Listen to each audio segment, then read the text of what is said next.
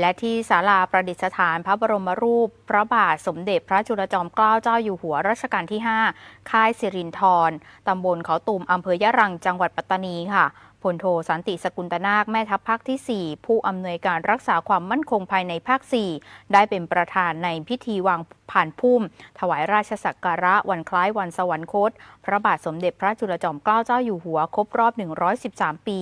พร้อมด้วยพลตรีไพศาลหนูสัง รองแม่ทัพภาคที่ 4 รองผู้อำนวยการรักษาความมั่นคงภายในภาค 4 ส่วนหน้า